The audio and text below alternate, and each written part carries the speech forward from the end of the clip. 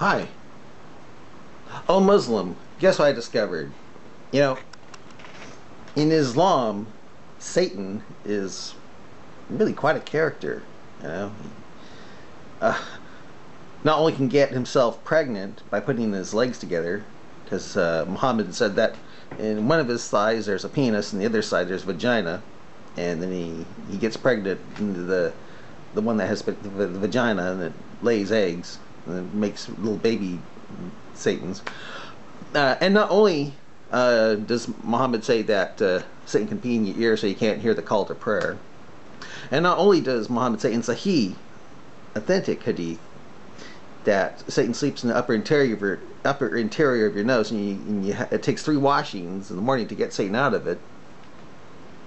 And not only does Satan fart to keep from hearing the azan, which you know, the blamer loves. He said he loved hearing the azan, especially at uh, sunrise or was it sunrise, sun, sunset around there. You know, just yeah, he really loved that. But it sounds like Satan was a bit gay as well. I'll show you why here. I'll show you why here.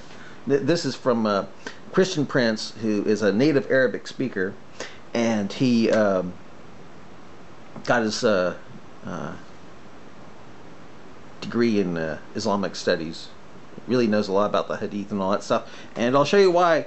It sounds like uh, I don't know. It sounds like uh, sounds like Satan was. Uh, I don't know. Might like uh, Broadway show tunes or something like that. I'll, I'll show you why. Okay. All right. Arm, all of it inside his anus. Now, if I don't. There it is. Uh, however, the most anus now not someone making it as a hobby.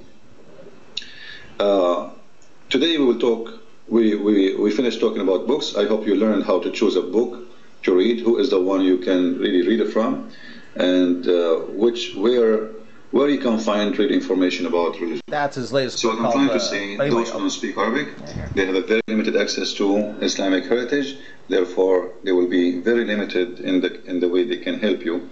However, still you can read their books, uh, but if you are looking for something new, uh, something maybe you never heard before, not just a copy paste from each other, then it's better if you learn from someone who speaks Arabic. Uh, as an example here, this is a book. Uh, the book, just to show the Muslims here, this is the book of Sunan al-Darimi, and Sunan al-Darimi is one of the Sunni book, which is considered as, as, a, as a Sahih hadith too. Uh, however, the Muslim they list they, they have ranks for books, and there is six ranks of books uh, uh in the, the Sahih, which means six books of Sahih. Uh, however, it doesn't mean that those books are not correct. Muslims they learn from them. This is why this is a very famous sheikh, the one who owned this website. His name is Ash-Sha'rawi. He was one of the famous in Egypt for uh, until he died, and this is why he is uh, teaching from it because he as a scholar he learned from Ad-Darimi. So in here you will see that it says that if you want to go to the to, to do poo uh, you better put your uh, turn your butt to a cover like a rock or a wall or a sand hill because if you don't do that shaitan or shayateen they will play with your anus and this is why Muslims they have to make certain prayer before they enter the bathroom otherwise shaitan play in his anus. Maybe he will put screwdriver.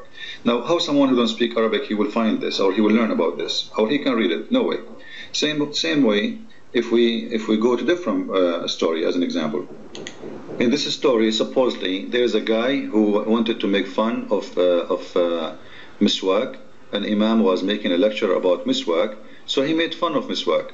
And in the second day in the morning, uh, he found his uh, arm, arm, you know, the whole arm, like from your finger all the way to your shoulder.